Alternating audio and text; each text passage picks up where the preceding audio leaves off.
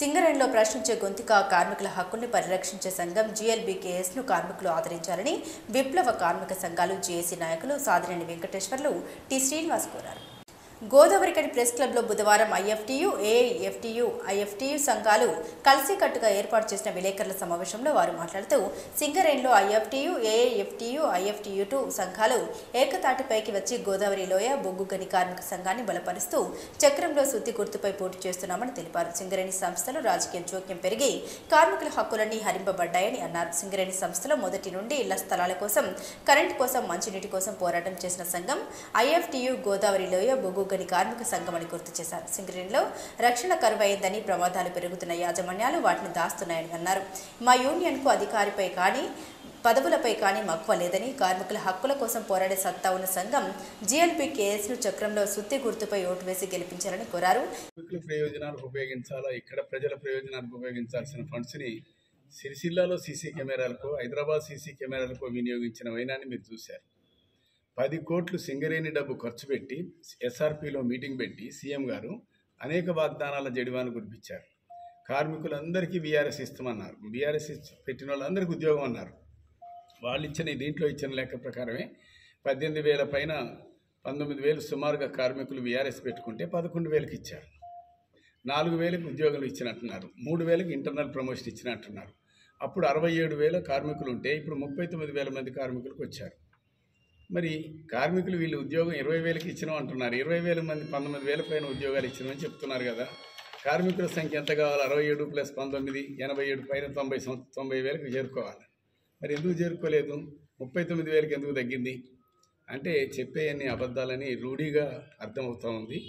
ట్యాక్సుల రూపంలో మా దగ్గర కొల్లగొట్టిన డబ్బుని టర్న్ ఓవర్లో fifty percent tax twenty five percent outsourcing remaining twenty five పర్సెంట్లోనే మా శాలరీస్ కంపెనీ బతుకడ కంపెనీ బతుక అవన్నీ చేస్తున్న పరిస్థితి ఇది కంపెనీ నడుస్తున్న స్థితి. లాభాల్లో వాటా ఇచ్చినాం అది చేస్తున్నాం ఇది చేస్తున్నాం ఒక లక్ష అరవై ఆరు వేలు లాభాన్ని పెంచినామని వాగ్దానాలు చెప్పిస్తున్నారు. ఈ దీంట్లో కూడా రాసుకున్నారు హెచ్చులకి. నిజమే కదా లక్ష అరవై ఆరు వేలు ఇచ్చిన మాట నిజమే కానీ మా చేతికి ఎన్ని వచ్చినాయి? నలభై తొమ్మిది శాతం కట్ అయిందా లేదా? ముప్పై శాతం ట్యాక్స్ రూపంలో తీసుకున్నారా లేదా? మరి ఇట్లాంటి సేఫ్టీ రూల్స్ సేఫ్టీ యాక్ట్స్ అన్నీ ఉంటాయి కానీ అమల్లో లేదు. ఇట్లాంటి అనేక విషయాలు కోకొల్లైన విషయాలు. కార్మికుల పనిభారం కార్మికుల తగ్గింపు ఉత్పత్తి పెంపు. పై పైన ఉన్న ఉత్పత్తిని తీస్తున్నారు. ఓపెన్ కాస్ట్ అంటే ఓపెన్ కరప్షన్. ఓపెన్ కాస్ట్ అంటే అక్కడ జరిగేదంతా కరప్షనే. మరి ఓపెన్ కాస్ట్ ఓపి తీసే దాంట్లో సర్వే చేసినా చూడవచ్చు దేంట్లోనైనా చూడవచ్చు కరప్షనే. ఈ అవుట్సోర్సింగ్ వద్దని అనేక ఆందోళన చేసింది మా నాలుగు యూనియన్లు. శ్రీకాసతో సహా మేము అనేక ఆందోళన చేసినాం ఎడ్ల బండ్ల కార్మికులు పర్మనెంట్ చేయడం కోసం ఆందోళన చేసినాం. దశాబ్దాలుగా సింగరేణి కార్మికుల కోసం విప్లవ కార్మిక సంఘాలు అనేక ఉద్యమాలు అనేక త్యాగాలు చేసినటువంటి చరిత్ర విప్లవ కార్మిక సంఘాలది. ఆనాడు ఇళ్ళ స్థలాలకి కరెంటుకై ఇతర హాస్పిటల్ సౌకర్యాలకై పోరాడింది. మంచినీళ్ళు. మంచినీళ్ళు ఇవన్నీ కూడా ఒక పెద్ద సమస్యగా ఉన్నటువంటి కాలంలో మేమే దీర్ఘకాలిక అదేవిధంగా మెరుపు సమ్మెలు చేసి ఆనాడు ఉద్యమాలు చేసినటువంటి పరిస్థితిని పరిష్కారం చేసిన పరిస్థితి ఉంది. ఆ తర్వాత అది వేతన ఒప్పందాలు. కోల్ ఇండియాలో ఎక్కడ కూడా వేతన ఒప్పందాలు జరగనప్పుడు వేతన ఒప్పందాలు మూడు సంవత్సరాలు నాలుగు సంవత్సరాలు నాలుగున్నర సంవత్సరాలు కూడా ఆలస్యమైనటువంటి సందర్భంలో సింగరేణిలోనే వేతన ఒప్పందాల కోసం సింగరేణిలో నిరవధిక సమ్మెలు చేసినటువంటి చరిత్ర నిరవధిక సమ్మెలు చేసిన తర్వాత మాత్రమే జాతీయ స్థాయిలో జేబీసీ స్థాయిలో అగ్రిమెంట్లు చేసుకోవాల్సినటువంటి ఒక పరిస్థితికి నెట్టబడ్డది. అట్లాంటి సుదీర్ఘ సమ్మెలు చేసినటువంటి చరిత్ర కార్ విప్లవ కార్మిక సంఘాలది.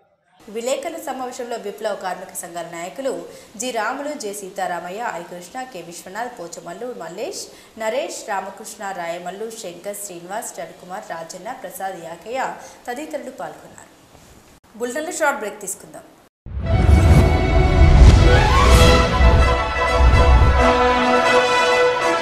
పెద్దపల్లి జిల్లా గోదావరికని పారిశ్రామిక ప్రాంతంలో మొట్టమొదటిసారిగా అధునాతన టెక్నాలజీతో ఎంఆర్ఐ స్కాన్ సేవలు అందుబాటులో. First MRI in coal belt area.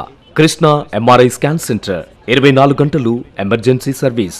Krishna MRI scan centre Lakshminagar Godavarikhani మా వద్ద MRI brain whole spine whole abdomen MRCP urogram renal angiogram ఇవే కాకుండా బాడీకి సంబంధించిన అన్ని రకాల ఎంఆర్ఐ స్కాన్స్ మా వద్ద చేయబడును.